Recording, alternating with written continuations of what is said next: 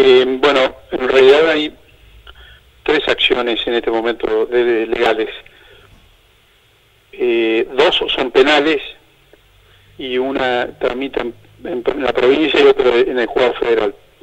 Pero en donde hubo novedades es en, esta, en una tercera presentación que tiene que ver con un amparo que eh, lo que se trató de resguardar es el servicio de la obra social de los afiliados que se había cortado también abruptamente sin que se dieran los pasos reglamentarios de ninguna de las conductas que obviamente no este, Fiori como secretario general puso en manos de la justicia para que se decidiera sobre la ilegitimidad o legitimidad de los del accionar de todos los protagonistas, ¿no? Y en este caso se presentó un amparo mm, para la protección de, del servicio de la obra social y se hizo lugar, el juez federal de Junín hizo lugar a, a, esta, a este amparo en cuanto a la medida cautelar. Se hizo lugar a una medida cautelar que es provisoria, pero que tiene que ver con esta protección de la que hablamos, eh, justamente priorizando la salud y, de que no se innove sobre esto, así como también el resguardo del patrimonio de, de la de la seccional Junín Desmata, este, hasta tanto la justicia decida en definitiva qué es lo que va a pasar con respecto a, a las autoridades. Claro, ¿qué tendría entonces que decidir? ¿Por qué sucedió esto? ¿Qué tendría que decidir la justicia entonces en las otras instancias y por qué se llegó a esta situación? Bueno, exacto. Eh, es muy importante eh, que se revisen los mecanismos, porque por lo que se ve hay mecanismos que no han sido democráticos y probablemente haya habido mecanismos ilegítimos y también probablemente delictivos. Y esto es lo que está en, este momento en tela de juicio eh, por vía en, judicial y me parece que lo más prudente es que se expida la justicia antes de que se siga avanzando sobre esta cuestión. Eh, porque en realidad mm, creo yo que ha sido este, negligente la conducta como mínimo, la conducta que desarrollan algunos directivos de Mata Central, que debieron canalizar cualquier este, frente interno por otra vía, eh, por una vía revisable, donde exista la defensa en juicio, donde exista un debido proceso.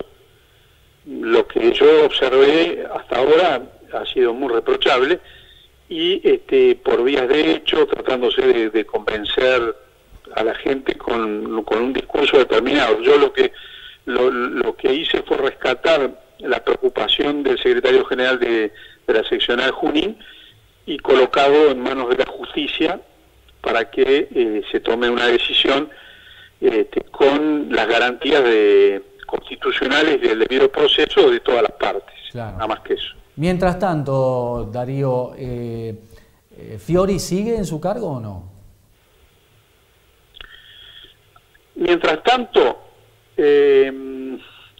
hay un hay una disposición, es decir, hasta tanto no se no se expida la justicia, mi interpretación de los hechos es que Fiori sigue a cargo porque no ha habido un cuestionamiento de su de su accionar, de, su conducta eh, en su cargo de, de ningún modo, es decir, hay una insinuación a través de una notificación privada, ni siquiera hay intervención del ministerio, ni mucho menos, y mucho menos judicial, donde eh, se hace mención a presuntas irregularidades que jamás fueron denunciadas, que no, no están precisadas, no se sabe a qué se refiere, y por lo tanto es un, hecho, entiendo yo que es un hecho que no responde a la realidad y que solo mm, se menciona para tratar de justificar la mm, violencia de los actos que, se ventilaron el 9 de agosto.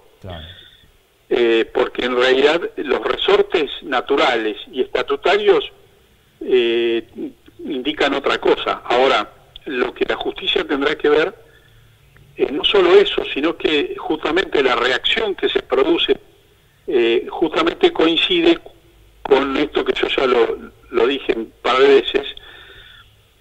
Fiori es revisor de cuentas de la obra social. Entonces, cuando exterioriza su intención de hacer un trabajo real, concreto y no ficticio, revisando la documentación, incluso pidiendo documentación del año anterior, dado que eran muy fuertes los rumores sobre una deuda escandalosa, este, es acá donde comienza eh, una especie de tsunami de reacción. Eh, y aparece la, la, cefalía, una renuncia en bloque eh, con el mismo día y el mismo contenido de los telegramas, es decir, todo todas situaciones que deben ser revisadas ante la justicia, a mi modo de ver, para poder este, analizar si han sido tomadas democráticamente, si han sido legítimas y si no ha habido alguna conducta que incluso pueda llegar a estar encapsulada por el Código Penal. Claro. Darío, muchas gracias por esta comunicación este, y por estas novedades. ¿eh?